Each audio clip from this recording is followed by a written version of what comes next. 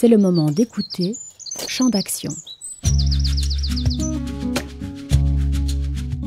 La PAC, la politique agricole commune, fait actuellement l'objet d'une nouvelle renégociation depuis sa création en 1962.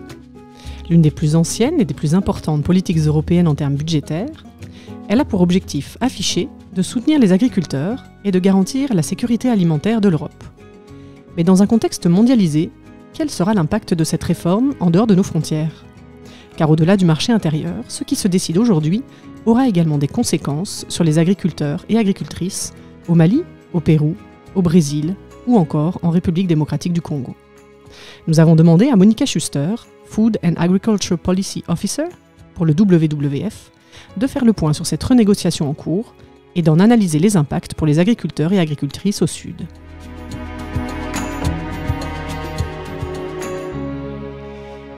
Bonjour Monica Schuster. Bonjour. Merci d'être avec nous aujourd'hui. Alors euh, pour rentrer dans le sujet, euh, on est actuellement en pleine renégociation de la PAC pour la prochaine période 2023-2027. Est-ce que vous pourriez nous expliquer en quoi consiste euh, ce processus de renégociation? Finalement, qui négocie quoi? Et où en est-on aujourd'hui?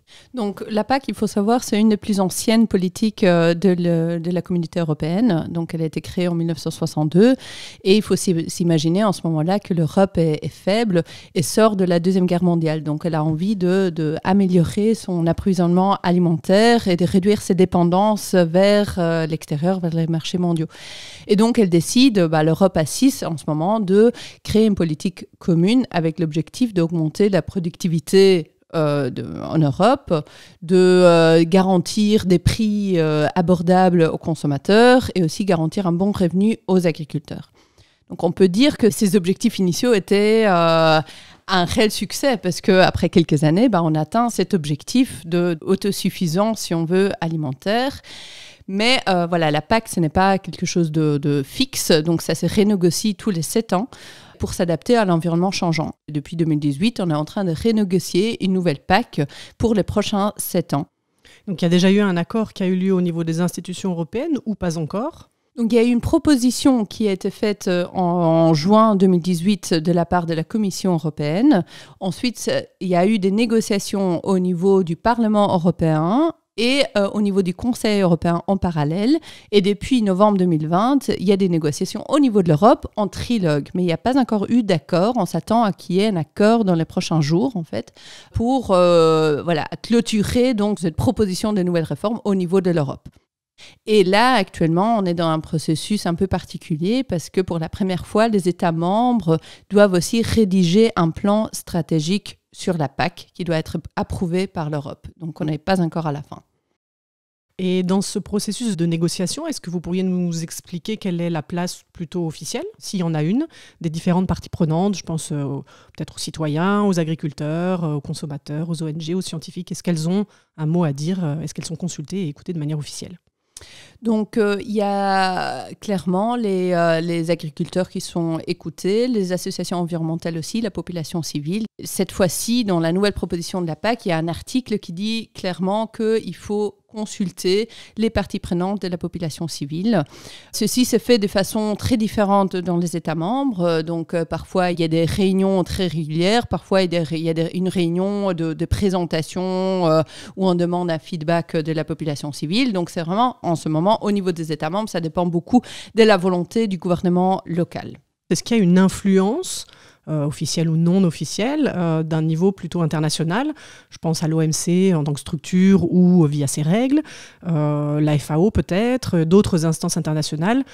Et également, est-ce qu'il y a des pays du Sud qui discutent? Est-ce qu'il y a ce type d'échange pour influer sur la prochaine PAC? Non, c'est une PAC qui se négocie principalement au niveau européen, donc des institutions européennes. Pour la première fois au niveau du Parlement, donc il y a la commission environnementale qui a eu un mot à dire euh, dans les négociations, mais euh, pas d'autres institutions. Il y a eu des recommandations, il y a eu des rapports qui sortent, euh, il y a eu des études d'impact qui sont sorties pour donner des conseils aux institutions pour prendre les bonnes décisions. Mais il n'y a pas un accord, une participation formelle. Quand on parle de la PAC, elle est souvent abordée comme via les conséquences qu'elle a pour les agriculteurs, les agricultrices chez nous en Europe et en Belgique. Mais finalement, l'impact de ce qui se décide ici n'est pas neutre pour les pays tiers et notamment les pays du Sud. Est-ce que vous pourriez nous en dire un mot? C'est clair que pour comprendre la PAC, il faut surtout comprendre l'histoire de la PAC. Effectivement, dans les années 70, cette autosuffisance a été atteinte. Donc, euh, il y a une euh, production euh, supplémentaire au-delà qui va au-delà de la demande des consommateurs européens à la fin des, années 80, début des années 90. Donc il y avait à peu près un tiers du budget de la PAC qui allait vers des agriculteurs ou des commerçants qui exportaient leurs produits. Pourquoi? Parce que les prix en Europe étaient supérieurs aux prix des marchés mondiaux. Pour compenser, bah, l'Europe a décidé de payer la, différence euh, entre les prix internes et les prix externes. Ceci a eu évidemment des répercussions très importantes sur l'équilibre des marchés mondiaux. Donc d'un côté, l'Europe s'est emparée de certains marchés d'importation au détriment d'autres exportateurs potentiels. C'est un impact sur le prix des aliments au niveau euh, mondial parce qu'il y a eu plus de production qui a été mise sur les marchés et ça a eu évidemment un un impact très très grand aussi sur les filières locales dans les pays au développement qui devaient concurrencer donc avec ces excédents qui étaient exportés euh, dans les pays au développement.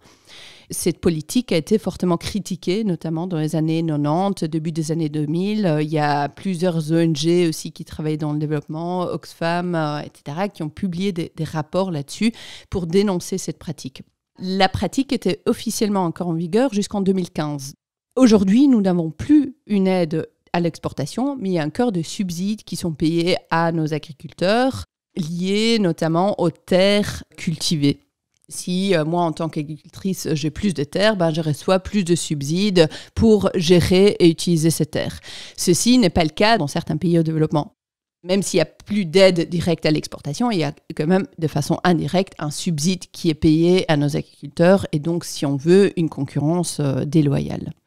Euh, pourtant, on entend aussi que euh, finalement ces exportations, elles permettent à ces pays du Sud finalement d'avoir accès à des produits peu chers et donc de contribuer à leur sécurité alimentaire. Je pense au lait notamment, à la poudre de lait, mais aussi aux volailles. Qu'est-ce que ça vous inspire? C'est effectivement très complexe quand on parle des pays au développement. Euh, ben, c'est une réalité qui est très très hétérogène. Donc, et ensuite, quand on regarde au sein de chaque pays, est-ce qu'on parle des consommateurs ou est-ce qu'on parle des producteurs? Au niveau du lait et de la volaille euh, que tu as cité, bah, c'est deux exemples très très exemplaires où euh, l'Union européenne a clairement exporté beaucoup et donc euh, représente les exportations de l'Union européenne représentent à peu, près de 35% du, lait en poudre qui est exporté surtout en Afrique occidentale.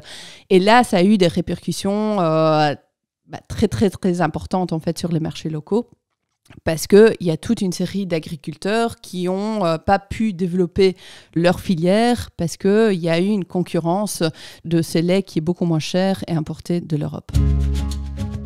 Vous écoutez Champ d'action, épisode 4, la politique agricole commune et ses impacts au Sud, avec Monica Schuster.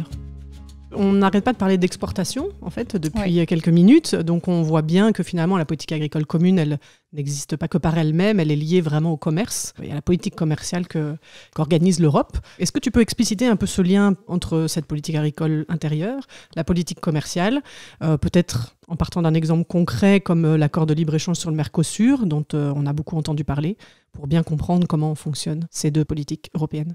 Bien sûr. Donc euh, la politique agricole est très fortement liée à la politique commerciale, évidemment. Et malheureusement, très souvent, dans la politique, c'est négocié de façon séparée. Et donc ça travaille beaucoup en silo, alors qu'il y, y a un très fort lien entre les deux. Et ce lien est encore plus important pour les pays au développement parce que le secteur primaire donc de l'agriculture revêt une importance beaucoup plus importante dans le PIB du pays et parce que les consommateurs aussi dépensent plus encore pour leur alimentation. S'il y a un changement au niveau des politiques commerciales qui ont un impact sur les prix ou sur la quantité de denrées alimentaires et des produits alimentaires qui sont disponibles dans leur pays, ben, les pays au développement sont beaucoup plus impactés par cela. Le traité de libre-échange et Mercosur, bah, c'est un traité qui a été euh, beaucoup discuté récemment parce qu'après 20 ans de négociations, en 2019, euh, il y a eu un accord euh, de l'Union européenne avec quatre pays en Amérique latine, notamment le Brésil, l'Argentine, le Paraguay et et l'Uruguay pour échanger euh, des produits, de la marchandise, ou pour l'Europe, il s'agit principalement d'exporter euh, des voitures, donc l'industrie automobile, euh, la chimie, alors qu'en Amérique latine, bah, il y aurait les, denrées agricoles comme les bovins, la volaille, l'éthanol, le sucre qui seraient exportés vers l'Europe. Ça a été beaucoup débattu parce que, évidemment, la production de ces denrées-là a un impact important sur la conversion d'écosystèmes, sur, la déforestation en Amérique latine et sur aussi les droits des populations indigènes qui habitent dans certaines zones où on produit ces denrées alimentaires. On parle aussi au niveau européen de, du Green Deal, de la stratégie de la fourche à la fourchette, qui a été adoptée euh, il y a quelques mois maintenant par l'Union européenne et qui vise à mettre en place au sein de l'Europe des systèmes alimentaires durables. Voilà, est-ce que ça va avoir un impact qu'on peut imaginer positif, évidemment en Europe, mais auprès des pays tiers donc tout d'abord, nous avons accueilli très favorablement au WF la stratégie Farm to Fork qui a été présentée par la Commission européenne en mai 2019. Ce n'est pas contraignant pour les États membres, mais c'est une première étape qui montre une trajectoire que l'Union européenne veut entreprendre dans le futur. Qu'est-ce que ça veut dire pour les pays au développement? Bah, En premier lieu, l'Union européenne utilisera les fonds de développement pour soutenir des domaines clés telles que la recherche et l'innovation, la gouvernance foncière, l'adaptation au climat, les pratiques agroécologiques. En deuxième lieu, il y a un engagement de passer une loi contre la déforestation importée. Donc ça veut dire qu'on va mettre des standards plus euh, contraignants pour tout produit, euh, surtout agricole qui entre en Europe et qui serait lié à une conversion d'écosystèmes ailleurs. Donc on pense notamment au soja, à la viande bovine, à l'huile de palme, au cacao, café, etc. Donc c'est une évolution qui est très positive. En troisième lieu, il y a l'Union européenne qui va s'engager aussi auprès des Nations Unies de pousser vers des systèmes agroalimentaires plus durables. Et c'est un engagement de mettre ça plus haut sur l'agenda euh, politique. Et aussi c'est en tout cas un engagement d'inclure dans les traités de libre-commerce plus de règles contraignantes aussi par rapport aux critères de production environnementaux et, standards sociaux de production. Ce qui manque dans cette stratégie, c'est plus l'attention à la création des filières euh, locales euh, et d'avoir une souveraineté alimentaire aussi au niveau des pays au développement. Donc ça, c'est malheureusement pas encore mentionné mais on espère que ça sera intégré dans une optique plus globale des systèmes alimentaires durables. Ben justement, est-ce que là on parle des actions que peut mettre en place euh, l'Union européenne? Du point de vue des États Est-ce que mettre en place un peu de protectionnisme agricole, des mesures relevant du protectionnisme agricole, est-ce que ça pourrait être euh, une bonne solution pour eux? C'est clair que les pays en développement doivent favoriser et encourager leur production agricole nationale. Et il faut qu'ils réduisent aussi la dépendance à l'égard des importations alimentaires, y compris donc des de provenances de l'Union européenne toutes les études des cas sur le lait en poudre, sur la viande de poulet, mais, aussi sur, euh, sur les concentrés de tomates. Euh, il y a, y a d'autres exemples là-dessus. Ils montrent qu'il y a eu des dommages très importants à ces pays en développement à cause des importations à bas prix. Et ces dommages ont été créés à la production locale. Donc c'est fondamental, en fait, d'investir plus pour développer les filières locales et l'industrie locale afin de réduire aussi la pauvreté rurale dans ces pays.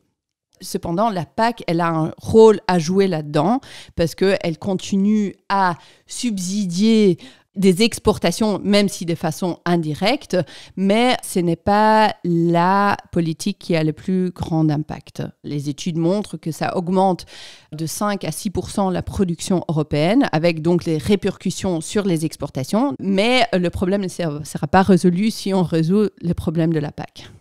Une autre solution, ce serait un mot qu'on entend souvent, qui est l'exception agricole. On s'éloigne un petit peu de la PAC puisque ça concerne plus l'OMC. Mais est-ce que tu peux nous dire, nous expliciter ce qu'on entend par exception agricole et est-ce que ce serait une bonne solution justement pour ces pays du Sud? Oui. Donc l'idée centrale de l'exception agricole repose sur l'idée que le secteur agricole mérite en fait un statut spécial dans les négociations des règles, dans les traités internationaux, pour le commerce, pour les investissements. Ça se base sur l'idée que l'activité agricole peut fournir au-delà des activités, euh, des apports économiques, aussi des contributions essentielles au développement rural, à l'environnement local et donc euh, aux revenus, aux emplois, à la protection de l'environnement. Et donc euh, il y a clairement une logique là derrière parce que au contraire d'autres secteurs économiques, bah, l'agriculture est très fortement liée et ancrée au territoire où bah, les ressources naturelles peuvent pas bouger, très difficilement bouger, la main d'œuvre aussi. Donc ça ferait sens évidemment de donner un statut particulier à l'agriculture qui est très fortement lié aussi aux besoins primaires des populations dans les pays de développement, mais aussi en Europe.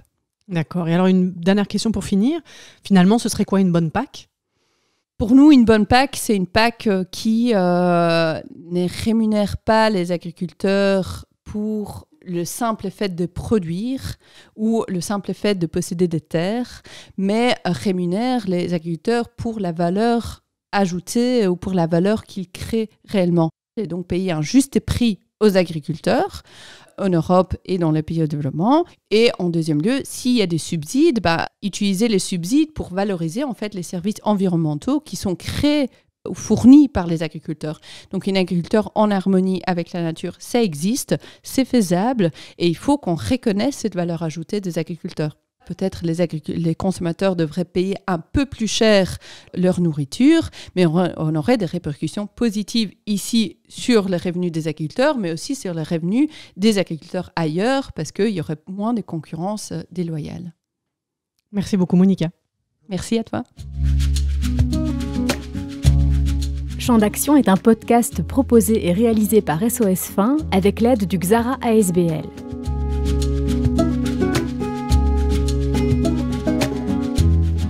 Approfondir la thématique de cet épisode, rendez-vous sur www.sosfin.be.